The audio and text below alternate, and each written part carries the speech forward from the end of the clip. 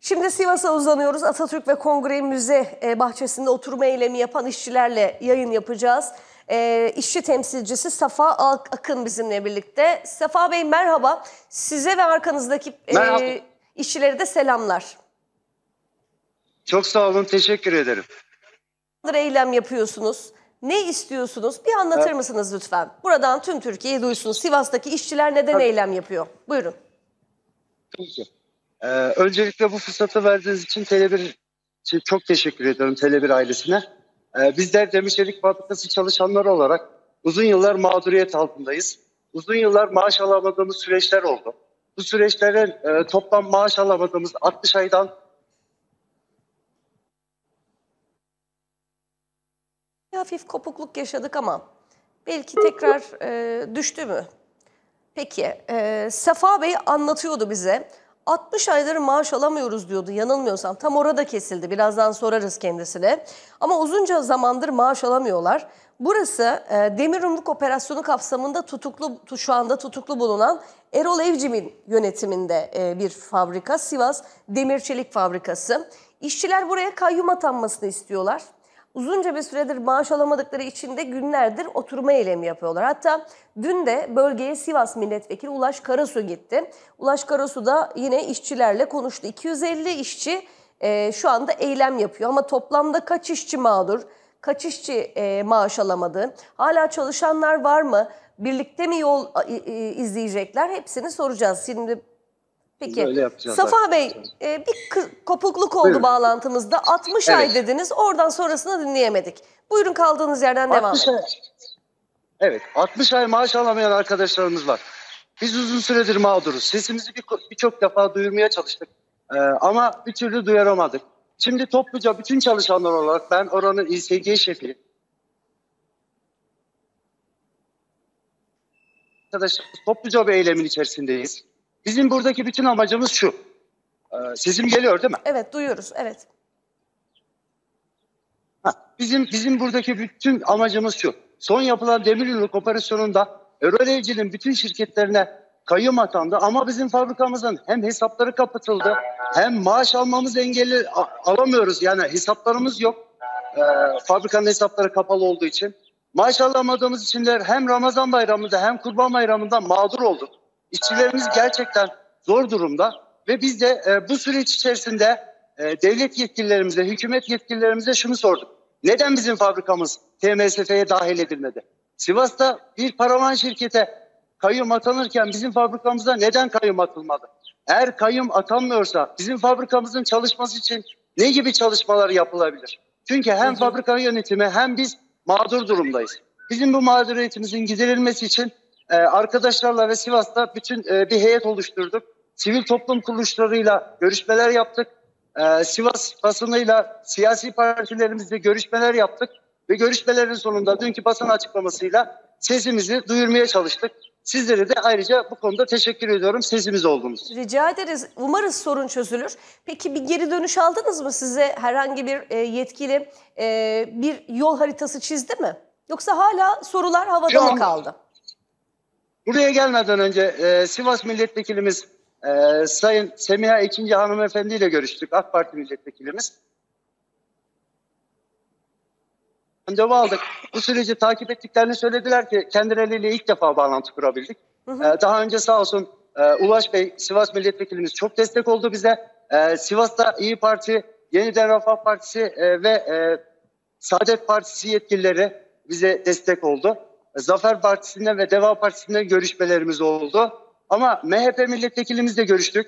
Ee, bir yol haritası çizeceklerini umut ediyoruz. Yarın randevu aldık. İnşallah bir sonuç alacağımıza inanıyoruz. Evet. Yani Biz neredeyse bütün arkadaşlar bunun için uğraşıyoruz. Evet. Evet, neredeyse tüm partiler ilgilenmiş aslında ama bir sonuca varılmamış. Toplamda 250 kişi misiniz fabrikada çalışan ya da Hayır, eylem yapan mı 600 250? 600 684 kişiyiz.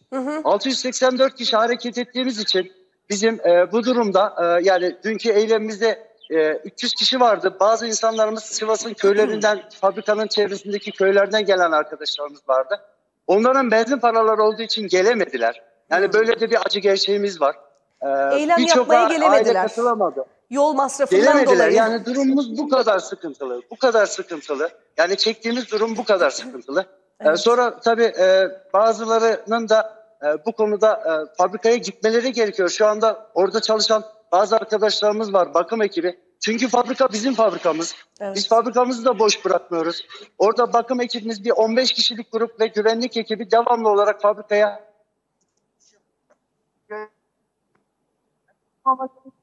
hem e, fabrikamızı korumak bu fabrika bizim. Eğer bu fabrika çalışmazsa Sivas 700 kişilik e, bir e, ekibine ve ekonomik olarak geçmiş yıllarda Türkiye'nin en büyük 50 fabrikası arasına girmiş bir işletmeyi Evet. kaybetmek zorunda kalacak. Bizim amacımız yani bu fabrikada sadece bir eylem gibi düşünmeyin. Bu bizim Sivas Demir Çelik Fabrikası'na gündemde tutulması için ve Sivas'a kazandırılması için de yapmış olduğumuz bir eylem. Evet. STK'lardan da bunun için destek istedik. Tabii nereden baksanız 4000 kişi ekmek yiyordur o fabrikadan. E, 700 kişi çalışan var dediniz. Ortalama bir Tabii, aileye yani- vurduğunuzda önemli. Ve bunun alt kollarıyla beraber yani burada çünkü nakliyeci kazanıyor, inşaatçı kazanıyor, Sivas esnafı kazanıyor, ticaret insanları kazanıyor. Evet. Bunları vurduğumuz zaman en az 5000 kişilik bir ekonomi ki bu Sivas için çok büyük bir ekonomi. Hele ki günümüz ekonomik şartlarında çok önemli. Buyurun. Peki Sefa Bey dediniz ki 60 aya yakın maaşını alamayan var. Yani Erol Evcil Evet. tutuklanmadan önce de sizin mağduriyetiniz e, varmış. Siz de o dönem patronunuz Evet. olan, özür dilerim, Erol Evcil'le de konuşmuş muydunuz? Yani sorunlar o zamandan başlıyordu anladım. Biraz öteyi de Ya anlatır bizim- mısınız öncesini? Tabii süreci de anlatayım ben size. Bu fabrika 2003 yılından itibaren Erol Evcil tarafından yönetiliyor. 2005 yılında TMSF kayyum atadı buraya 2005 yılında. 2005 yılından 2009 yılına kadar da TMSF yönetti. O dönem e, geçmişteki e, hesaplardan dolayı yani geçmişteki davalardan dolayı o dönem Sivas'ımız e, bizim fabrikamız Türkiye'nin en büyük 50 fabrikası içine girdi. Muazzam Hı hı. bir kar etti. Üretim rekorları kırarak yani yıllık bizim kapasitemiz 450 bin ton üretim yapıyoruz. Yani aslında büyük bir fabrika. Ee, Daha sonra 2010'da TMSF'den Erol Bey'e geçti. Erol Bey süreyi çalıştırdı. 2015'e kadar arkadaşlarımız alacaklarını alamadılar. Eylemler yaptılar. Hatta 2015'te ulusal basına yansıyan büyük eylemler oldu. Ee, İnsanlarımız çatılara çıktı, aileleriyle yol kapattı. Ee, Fabrikamız 2015 yılında kapatıldı. 2015'ten sonra yönetim tekrar 2017'de fabrikayı açtı. Ve o günden belli de e, yani 2017'den 2022'ye kadar 5 yıllık süre içerisinde bizim içeride yaklaşık 26-27 maaşımız kaldı. Yani Hı hı. yarısını maaş almadan geçirdik biz. E, Bizim Evet. bu sürecimizde e, yani mahkeme sürecimiz devam ediyor. İflas davamız vardı. Onun süreci devam ediyor. Yargının da çok hantal işlemesi bizi mağdur eden konulardan Hı hı. bir tanesi. 10-15 yıllık süren davalar var ve bu davalar yüzünden içeride çok büyük alacağı olan insanlar var. Yani bütün insanlar e, mağdur, çocukları mağdur. İçeride alacağımız var ama alamıyoruz. Evet. E, maaşımızı alamıyoruz. Yani bizim e, artık e, bu işte e, gerçekten e, çok mağdur olduk. Bütün Sivas halkı da yoruldu bununla uğraşmaktan. Peki. Siyaset yoruldu, bürokrasi yoruldu. Buyurun. Çok teşekkür ederim e, katıldığınız için. Şu an eylemdesiniz, bekliyorsunuz Atatürk Kültür e, Kongre Müzesi bahçesinde. E, zaman Evet. zaman biz de yeniden sizinle bağlantı kurarız. E, eyleminizi biz de duyurmak için elimizden geleni yaparız. Selamlar olsun efendim. Çok sağ olun. Bizim e, bizim yalnız şurada bir açıklama yapmak istiyorum. Yani burada oturma eylemimiz yok. Dün yaptık o. Evet. Eylem dün vardı. kanallara, e, iktidar kanallarına dün vardı. Evet bugün Hı hı. eylemimiz yok çünkü e, biz kendileriyle bir e, randevu aldık. Sorunu çözmek için uğraşıyoruz. Anladım. Çok teşekkür ederim. Peki teşekkür ederiz. Sağ olun. Selam olsun. Bu teşekkür arada ederiz. Kangal Termik Santrali'nde de böyle bir eylem var. Sivas Kangal Termik Santrali'nde. Evet, evet, Oradaki evet, evet. arkadaşlarımıza da e, selamlarımızı sunuyoruz. Yani maalesef Anadolu'nun durumu bu. Evet. Çok teşekkür ederim. Sağ olunuz.